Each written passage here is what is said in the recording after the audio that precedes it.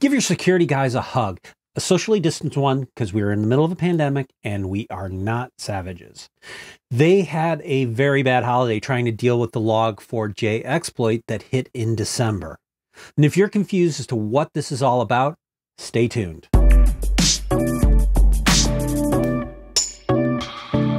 Hey everybody, this is Chris Brandt. Welcome to another FUTRtech video. On December 9th, a remote code execution bug in Apache's Log4j2 was discovered being exploited in the wild. Now, this exploit was alarming for two reasons. First, Log4j is very widely used. And secondly, this exploit is extremely easy to perform. Minecraft, Apple's iCloud, and Amazon Web Services are just some of the major services that were impacted by this. Additionally, after the exploit came to light, bad actors started actively scanning the internet for vulnerable systems.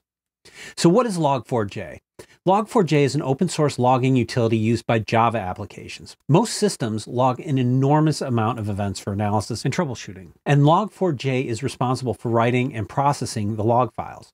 For example, say you request a page from a web server that doesn't exist. If the server has Java running, it would likely log this failed attempt through Log4j. Now, the part that was exploited was the context lookup feature, which, like it says, adds additional context to the logs, like adding the currently logged in user, for example. And by submitting a specially crafted request, Log4j would execute code to either download additional exploits from external servers or exploit functions on the system directly. Now, the exploit is fairly trivial to perform, because of Log4j's wide use, this became a major problem for businesses over the holidays. And with already overstretched security and development resources, this became a major undertaking for many people.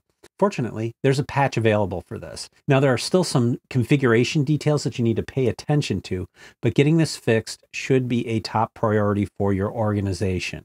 I know there's been talk about this in the news, but I don't think people really entirely grasp how severe this exploit was. In fact, many people are saying this is the worst exploit they've seen in years, if not ever. So this is really a big deal. And there's a lot of people working hard to solve for this problem because it is literally everywhere.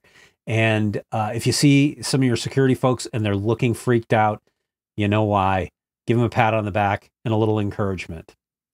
So thanks for watching. If you like what you saw, give us a like and think about subscribing. And I will see you in the next video.